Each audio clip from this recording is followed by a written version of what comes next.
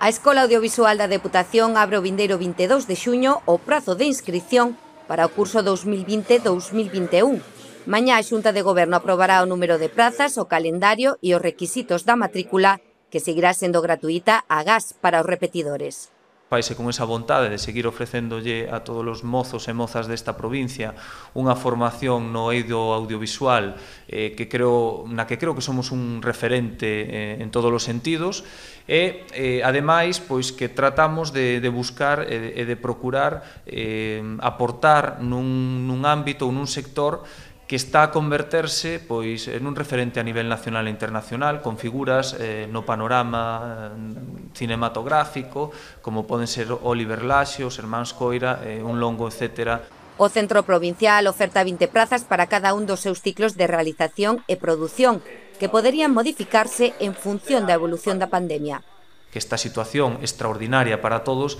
tamén vai pode conlevar pois eh, pois non sabemos unha redistribución cando menos das quendas, unha redistribución eh, do número de, de alumnos en función insisto, dos protocolos que se establezcan polas autoridades pertinentes. O impreso de inscripción poderase recoller na sede do centro. Tamén estará disponible na web da Deputación. O prazo para presentalo será do 22 de xuño ao 3 de xullo, e tras a publicación da lista definitiva de admitidos, a matrícula ordinaria poderá formalizarse do 15 ao 30 de xullo.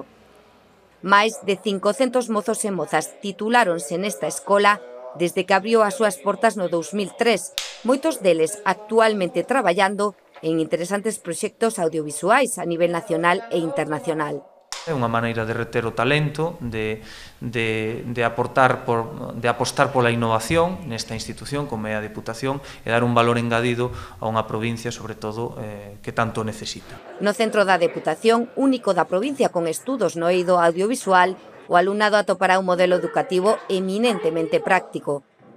Ademais, contará con instalacións modernas, platós, salas de control e materiais de alta calidade que os fará crecer profesionalmente durante a súa etapa formativa.